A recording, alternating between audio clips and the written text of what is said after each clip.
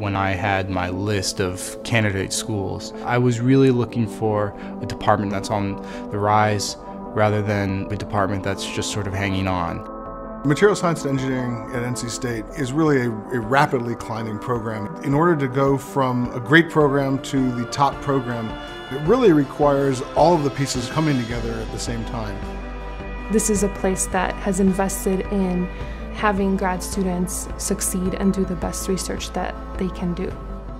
I want to be a scientist who's always looking at new things that are interesting, trying to solve problems in a way that no one's really thought to solve them before. I like the aspect of working on something that could have a direct impact within my lifetime. Our goal is very simple. We believe that we're training students who are going to be the leaders in whatever field they go into, whatever direction they go into.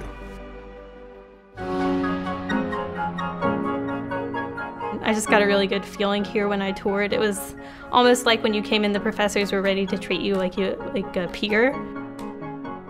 I want my students to be happy. I want them to find the career that they want. And for every student, it's unique. And I think it's important to understand what that student wants so that you can help them succeed. A lot of the faculty like to say that they work with their students rather than their students work for them. That gives already an impression of how the dynamic is within the department. When you give students the opportunity for ownership, they're going to go into the workforce, whether it's in academia or in industry, and be prepared to interact, engage with others, and really make important contributions. The ability to really conduct research independently has been tremendously useful, and it's kind of the way I imagine a job actually works where you're getting help, but in the end, you're, you're responsible for your product and you're responsible for thinking through the solutions.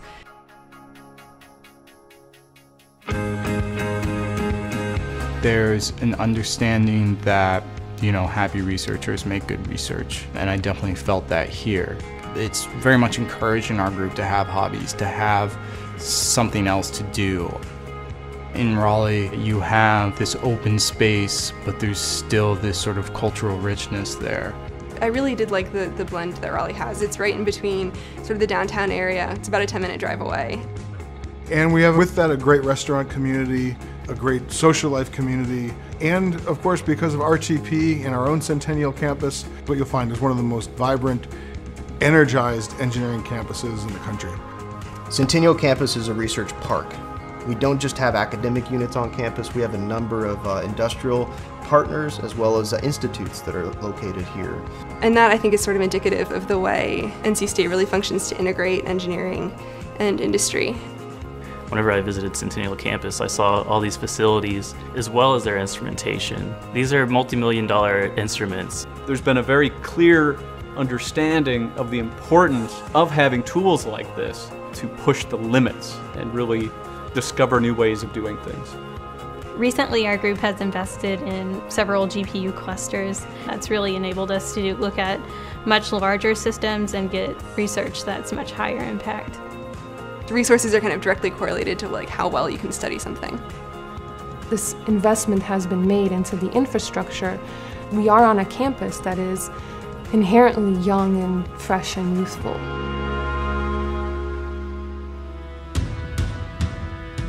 The material science department here is really focused on creating good future researchers.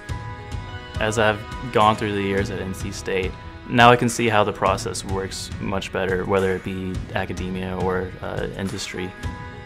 NC State is positioning itself as the innovation campus. They're putting people together that haven't worked together before, they're fostering interdisciplinary collaborations, and they're enabling us with unique resources. You know, it's an environment you're not going to find anywhere else. In the time that I've been here, there's been this continual push to move forward, and I think uh, it really is a unique place to be and the right time to be here. We want to make sure that we're always considered to be in that very, very top group of departments that does world-class science, world-class engineering, produces world-class students, is creating opportunities for our students to go wherever they want to go and do whatever they want to do.